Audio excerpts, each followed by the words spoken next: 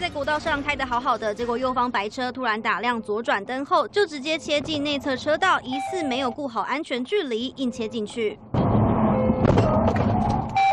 新驾驶吓坏，赶紧踩刹车，按喇叭提醒，但还是来不及，两车发生碰撞，白色车辆当场失控，擦撞内侧护栏，整台车摇摇晃晃，看起来超危险，但还是继续往前开，一路左摇右晃往前滑行。事情发生在五号傍晚五点左右，国道三号南下高雄燕巢路段发生车辆擦撞意外，原本开在中线车道的白色车疑似切换车道太突然，没有抓好距离，和原本开在内车道的车辆发生擦撞。的白色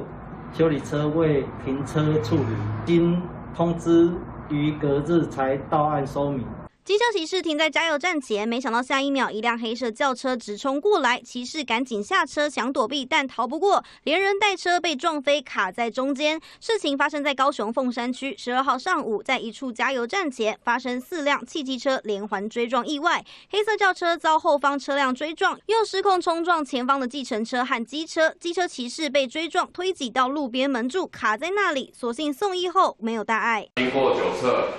本案的四位驾驶人均无酒驾的情势。所幸两起车祸意外驾驶均无大碍，只是因为一时的轻率驾驶吓坏其他用路人，也影响道路行车安全。记者蔡双吉、陈珊珊高雄采访报道。我是哈远怡，不用说故事，写自己的人生故事。有争议的拿证据说，被掩盖的挖出来说，非主流观点我有勇气说。用心说好两千三百万人的故事，我是哈远怡，请锁定中视 YouTube 频道，记得帮我们按赞、订阅、分享、开启小铃铛哦。